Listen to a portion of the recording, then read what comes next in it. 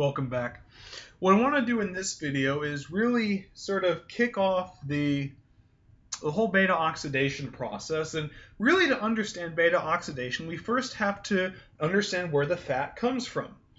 And, you know, fat can come from the diet, but a lot of the fat oxidation, um, it, it, it, it ultimately begins in an adipocyte. So I have an adipocyte, right? So here's my adipocyte over here, and here's my adipocyte, right? And I have several enzymes, okay? Number one, I have this enzyme over here, ATGL, and this stands for adipose triacylglycerol lipase. And then I have another enzyme right here called hormone sensitive lipase. And then I have another one called monoacylglycerol lipase. And I drew them in this order, and you'll see why in a few minutes. But um, it turns out that they all three of them have different substrates, and we'll see as we go along. Okay, so I have those, and on the mem and this on the membrane of the adipocyte, I have these these things called perilipins. So this is a perilipin. This is another perilipin. This is another perilipin. And so I have these things called perilipins, and on the perilipin, I have this protein. I have this protein called CG1. And actually, let me do this in a different color. I have this protein called CG1. CG1. Okay, and just just for note, the CG1 is on all of the perilipins. Okay, and then I have my plasma membrane, right? Here's my plasma membrane, right? And that and, and this lipid droplet, this is the lipid droplet right here. Lipid droplet, the lipid droplet, and this is all inside my adipocyte, okay? Now on the on the membrane, I have a receptor, and this is a receptor for glucagon. Also on the membrane, I have, let me do this in a different color, I have another enzyme, and this is called adenylyl cyclase or adenylate cyclase. Adenylate cyclase. And in the sort of in the the inside the cell in the cytosol, I have another enzyme called protein kinase A. Okay, and it's and protein kinase A. Go ahead and box that. Protein kinase A is a phosphate donor, meaning it's a kinase. It's going to transfer. It's a transferase. It's going to transfer phosphates to different molecules. And as we'll see, uh, perilipins and hormone-sensitive lipase are some of the targets. Now, essentially what's going to happen is I'm going to have glucagon floating around here. So here's a glucagon glucagon. Go ahead and box or circle that. And glucagon is a molecule that stimulates the hydrolysis of fat. So in other words, if you have lots of glucagon in your blood, it probably means that you're low on energy and you need an energy source. So your body is going to hydrolyze the fat in your body to individual uh, uh, fatty acids, and then they're going to go through beta oxidation. so if you got lots of glucagon present, that's going to happen. So glucagon is first going to bind to the receptor. It's going to bind to its corresponding receptor, and and and the glucagon receptor is a G protein receptor. So this is the G protein subunit that is so it's going to move over to the and activate the adenylate cyclase. So when glucagon binds, right? When glucagon binds, sorry, my phone's ringing. Um, just ignore that. Um, when glucagon binds, the, the G protein alpha subunit is going to move along the membrane and it's going to activate adenylate cyclase. It's going to activate adenylate cyclase. Sorry, that's kind of annoying me. And when adenylate cyclase gets activated, it's going to convert ATP into cyclic AMP, into cyclic AMP. And I'll just come over here and draw that structure for you. It's a specific cyclic AMP. There are lots of cyclic AMPs. Um, just depends on which one you're talking about. But the cyclic AMP that we're talking about looks like this. Looks like this. And of course you have your your purine up here and of course it's going to be what? It's going to be adenine. So if we label this, you got your adenine right here. You got your ribose right here, and it, it, it's a, uh, the way we would name this would be so. Here's the carbon one, two, three, four, five. So we would name this molecule, and let me do that in a different color. We would name it three prime, five prime, cyclic AMP or cyclic adenylate, and that's how we would name the molecule. So this is the cyclic AMP that's being formed by adenylate cyclase. And as you increase the amount of glucagon binding to the receptor, right, as you increase it, there's more and more cyclic AMP being produced. And there's more and more, and, and cyclic AMP is going to bind to and activate protein kinase A. So the more cyclic AMP you have, the more activation of protein kinase A you're going to have. So cyclic AMP is going to come over here and activate protein kinase A. Now, protein kinase A is going to come over here, right? And protein kinase A specifically phosphorylates uh, several proteins. Number one, it's going to phosphorylate the perilipins. So it's going to phosphorylate these guys. And we'll see what that does in a minute. And it's also going to activate hormone-sensitive lipase. And you can sort of picture hormone-sensitive lipase as bound in the membrane. So it's going to phosphorylate hormone sensitive lipase. Okay? Now this does two things. Number one, it activates hormone sensitive lipase, right?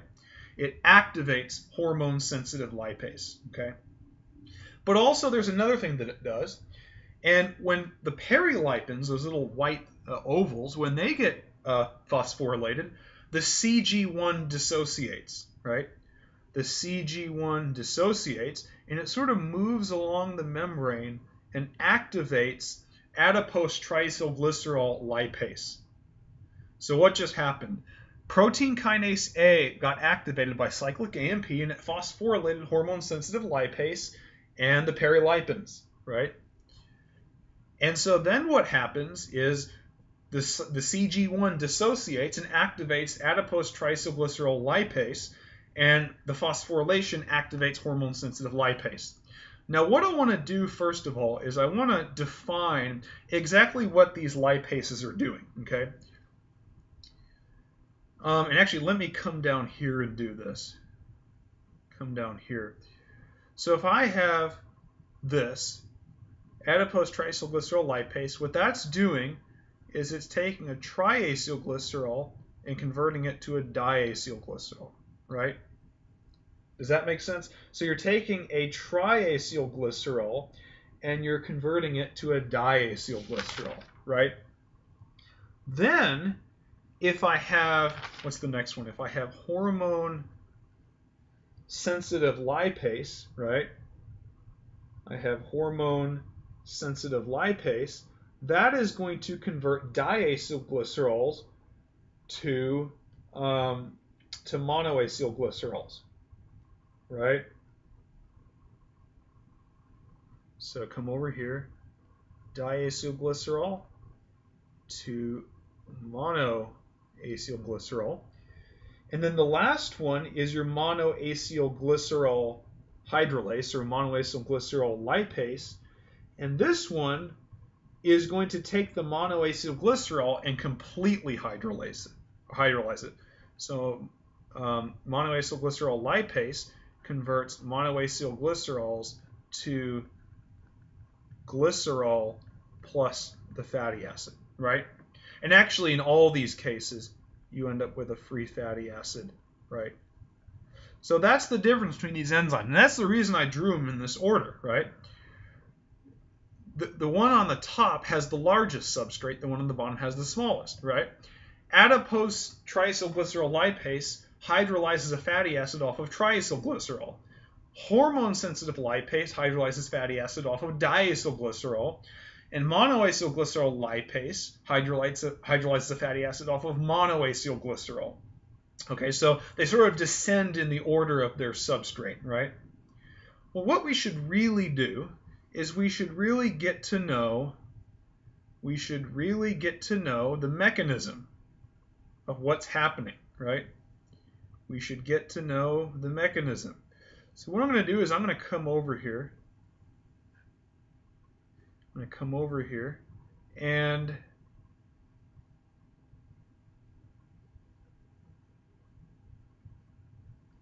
I'm just going to draw some generic R groups.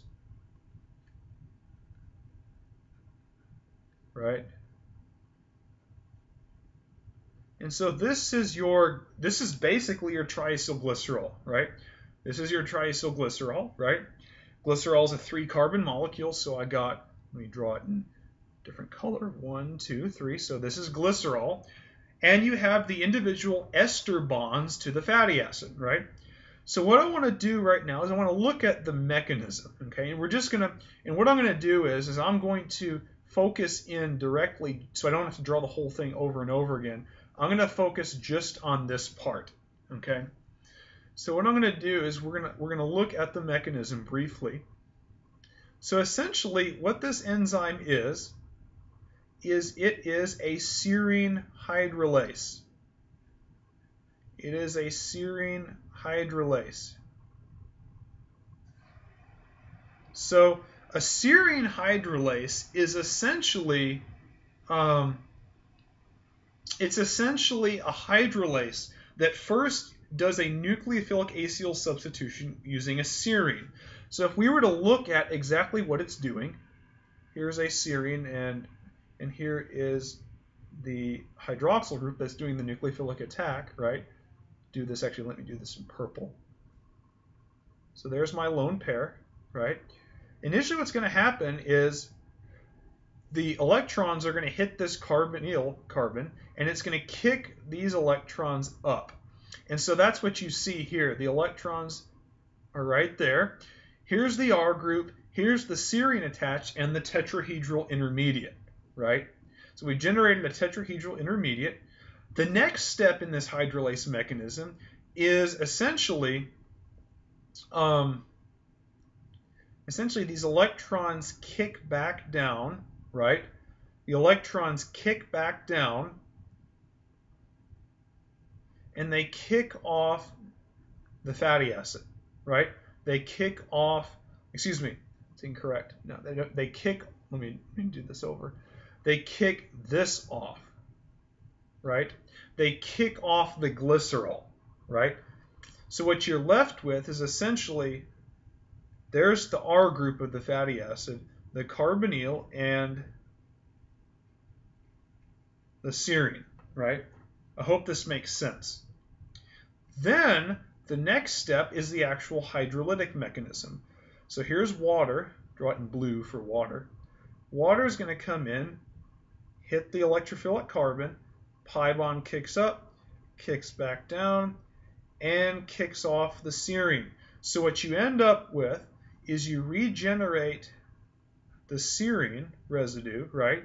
And you end up with the fatty acid. Right? There's my fatty acid. So what did we see? Well, the serine did a nucleophilic attack and generated a tetrahedral intermediate. And when the, the, the electrons kick back down, they kick off the glycerol, right? So this that I'm highlighting in orange, this right here is part of the glycerol, right? So that would be this part right there, right? That's what I'm talking about. It kicks off glycerol, and then we reform an acyl intermediate. So this is an acyl intermediate, and then water comes in, does a nucleophilic acyl substitution, and kicks off the serine regenerating a, or, or generating the fatty acid. And so what we've seen now is we've seen the mechanism of a serine hydrolase. And in fact, there are many, many serine hydrolases, uh, protein or proteases. Proteases are serine hydrolases, although they're hydrolyzing amides.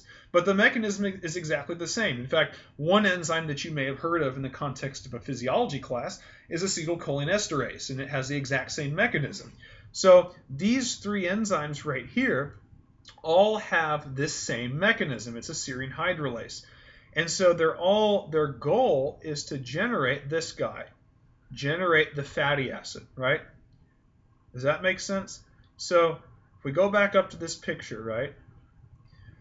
When PKA, the protein kinase A, phosphorylated perilipin, the CG1 dissociated and activated um, adipose triacylglycerol lipase, and also the phosphorylation activated hormone sensitive lipase. Altogether, glucagon's effect is to cause the, the, increase in the number of fatty acids.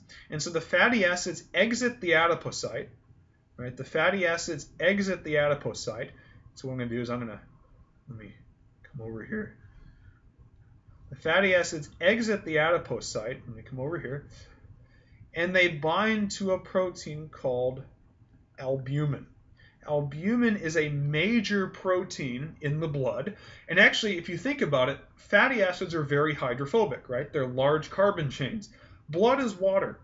So fatty acids are not soluble in blood. So they have to have a solubilizing protein so they can travel in it. And albumin's that protein. So you're going to get a complex of albumin and the fatty acid. And essentially, this albumin is going to take the fatty acid to the cell. So it's going to take it to the cell, and it will basically uh, facilitate the transport of the fatty acid into the cell. So albumin will come back off and pick up more fat. So now we have the fatty acid in the cell, right?